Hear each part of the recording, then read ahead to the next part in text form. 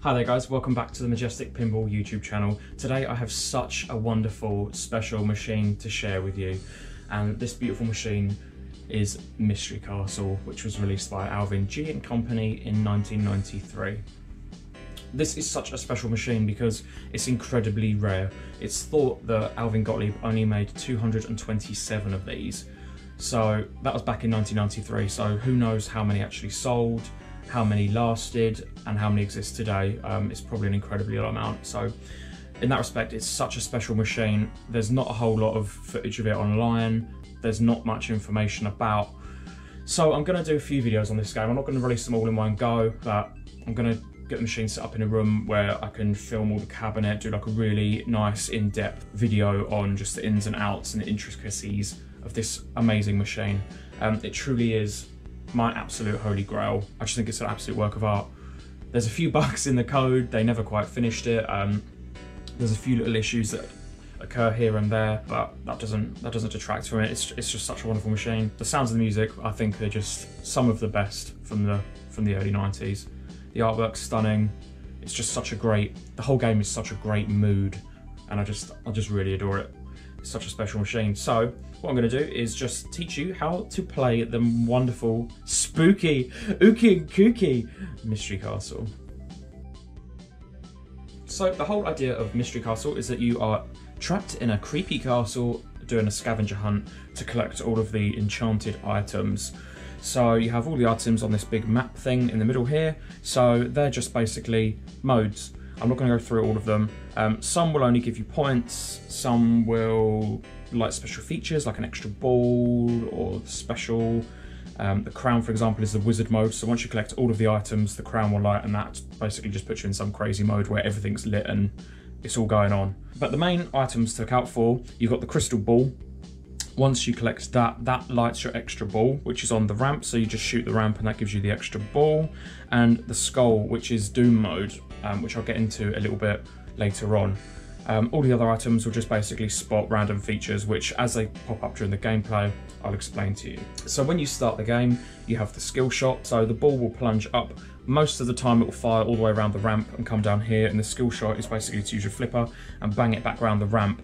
Um, and you can keep repeating that as many times as possible and that just awards the skill shot over and over again and the value increases. So that's the skill shot.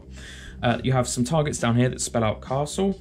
Shooting down all of those will increase your bonus multiplier for the endable bonus. To collect items, some of the random shots will light. So you have a few orbit shots, a few ramp shots. Um, so those are the dungeon, the bridge, the tower, the ballroom, and the catwalk. So these lights up on the top will light up whenever an item's ready to collect. Simply shooting that shot will give you whatever items flashing on the scavenger hunt list and then it will start either the mode or just give you some points or give you the feature of whatever whatever's lit. To change the items, um, you just simply hit this target here and then that will randomly move the items around. Shots into the two um, jet bumpers in the back will also change whatever items lit on the map. So if you've got a bit of a rubbish one and you want to change it up, just bang the ball up into the bumpers. They'll file around and obviously randomly pick another mode. This machine does have multi-ball. The way it works is a little bit random. So you have like a mystery award, which most pinball machines have, which is at the scoop. So you'll get the question mark will light up at the top. Um, shooting it in there, that will start the mystery award. Most of the time, the first mystery award will just instantly start multi-ball, which um, Alvin Gottlieb called, what did they call it? I've forgotten. Mega mode, sorry. They called it mega mode, um, which is a two-ball multi-ball. The same down here, you have like the sort of catapult shot, I think it's called. Shooting it in there um, is basically just another scoop, so that will both light for the mystery and it'll also both light for mega mode. The Joker also gives you Mega Mode as well. So whenever that's lit and you collect it, it will instantly just plunge another ball out for you. The main feature of this machine is Doom Mode, which is, I honestly think, the all-time greatest mode in Pinball Machine ever. No, no, no Pinball Machine in the future will ever beat Doom Mode. So once the skull's lit, basically the secret trap door opens, um, which is this light here. You bang the ball around the orbit and it will disappear into the pipe organ that you can see at the top and that starts Doom mode. The display kind of freaks out, it goes a little bit strange and it's a little bit buggy, but you basically get two dancing skeletons on the DMD. Multi-balls start and everything on the playfield is doubled. So um, whatever mode you start, it's all doubled, including extra balls. So if you're in Doom mode, and you collect the crystal ball. That lights extra ball. Shooting the ramp, and it gives you two extra balls, which is quite nice. Once you drain one of your balls in Doom mode, it still continues on. So all the GI changes colour, it all goes bright blue, it's, it's, beautiful. But for the rest of that ball, you still have a dancing one dancing skeleton on the DMD. You don't get to see your score, you don't get to see any information on what the hell's going on, you just have a dancing skeleton. Um, so for the rest of that time, until that ball's over, everything is still doubled. A very interesting feature of this machine is behind one of these targets, I don't know if you're going to be able to see it on the camera, behind one of these targets, it's the E in Castle, is a little gap. So if you can fire the ball through there, it actually comes back into the shooter lane and gives you some sort of crazy award. If the ramp's lit for anything, which it usually is, that'll plunge around and then basically instantly give you an item for free, which is very nice. And off the top of my head, that is about all I can remember. So what I'm going to do is just fire up a few games and just show you how wonderful Mystery Castle is. Welcome to the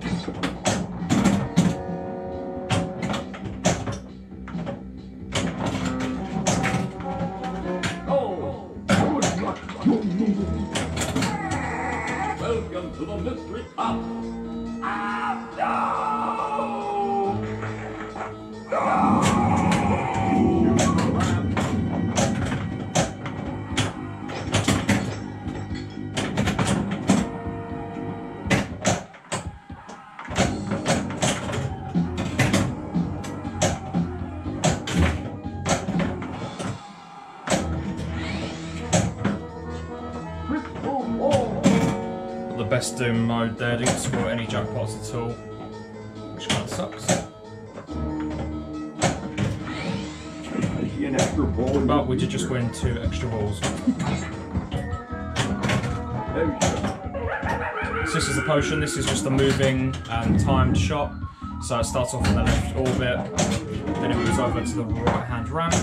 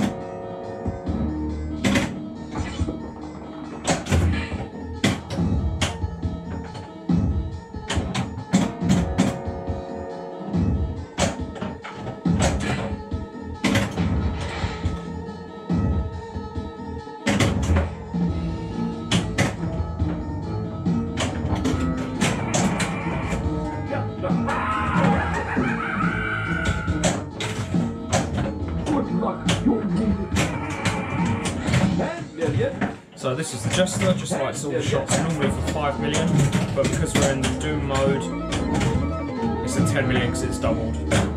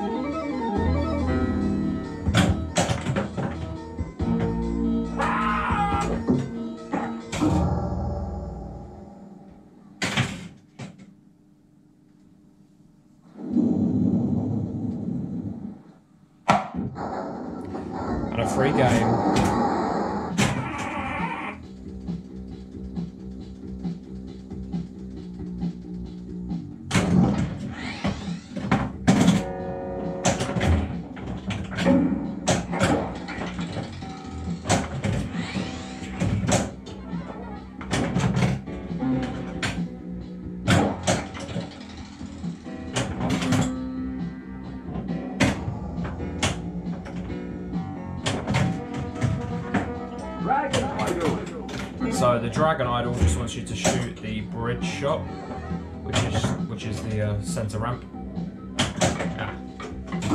Doesn't really give you a whole lot of points. It's quite a risky shot, so um, I wouldn't really bother with that normally.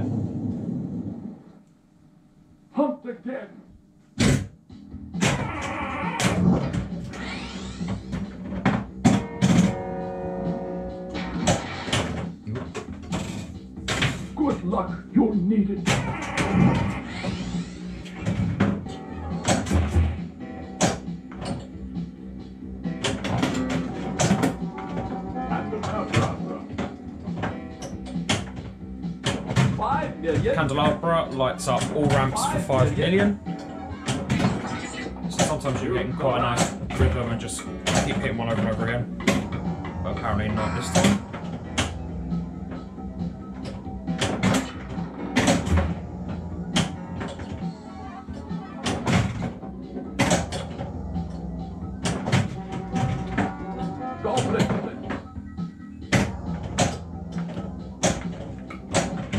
Goblet's one of those ones that just gives you points. I think you get 10 million for that, so nothing too exciting for Goblet.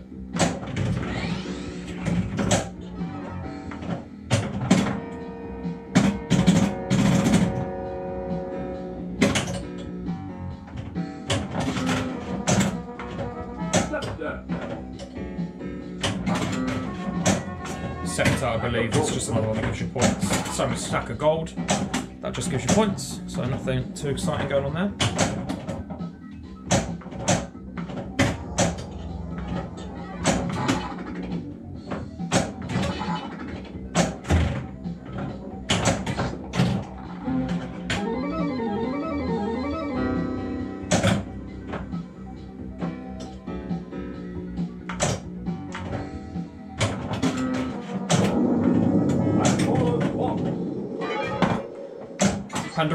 Lights every switch for a quarter of a million. So the best plan for that is to just smash it up into the bumpers and let it fire around in there for a bit.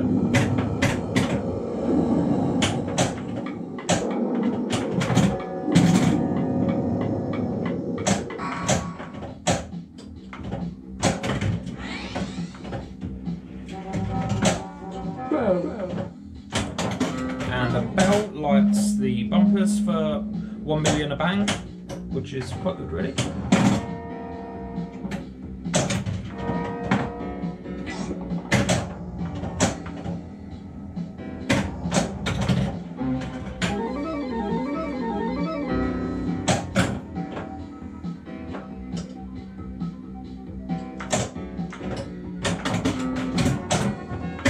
Coat of arms. Coat of arms is the drop targets on the right hand side. That lights each one of them up for two million, I believe, a hit. Um, after you hit, I think four down, it will reset the drops. So uh, that's quite a nice mode when you don't lose the ball. Oh, there's the skill shot.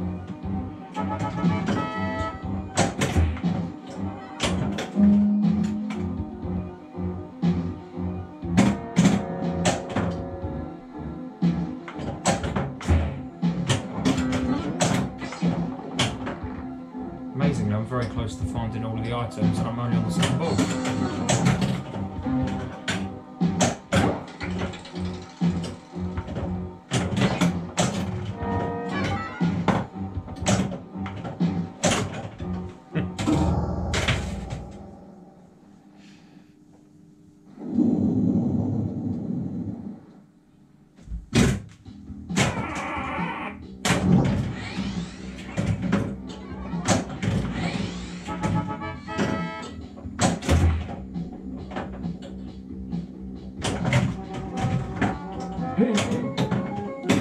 So the painting is just a moving jackpot shot that goes just randomly around the playfield.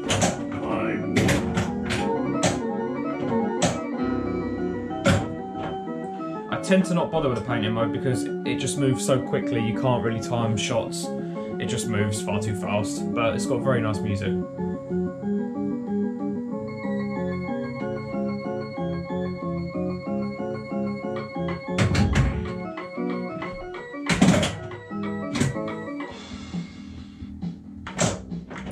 Okay, so we are now on the crown. Round.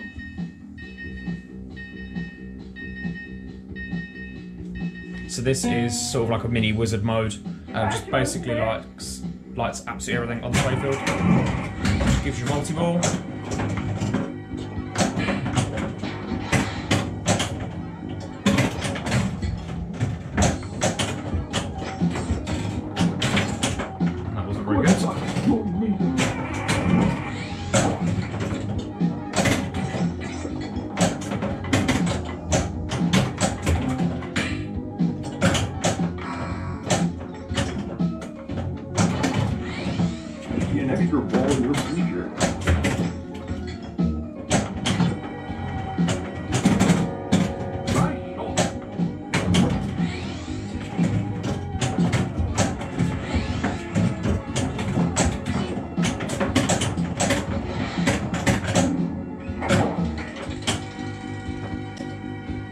Amazing music and this wizard mode. Let's just let it play for a bit.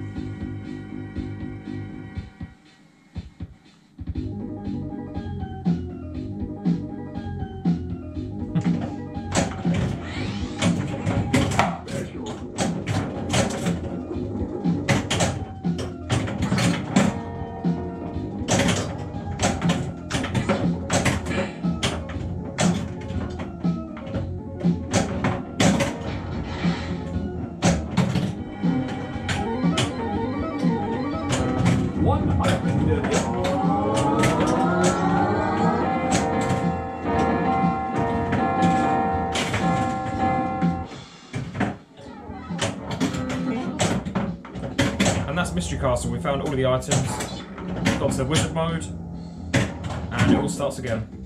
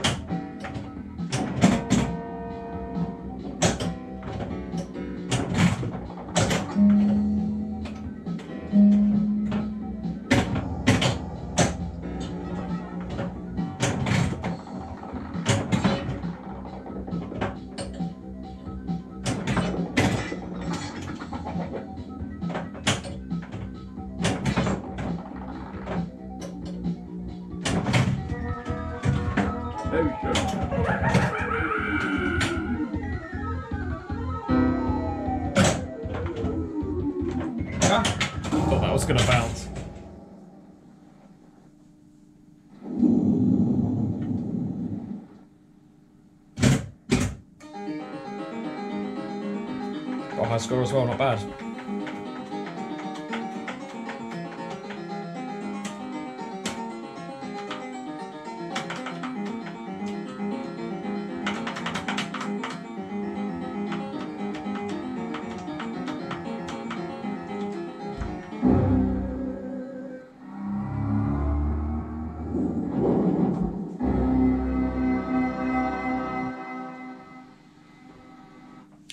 That is the very spooky Mystery Castle. Hope you enjoyed that. That was actually one of the best games I think I've ever had on that. So that was a good time to be filming. Uh, yeah, so thanks for watching.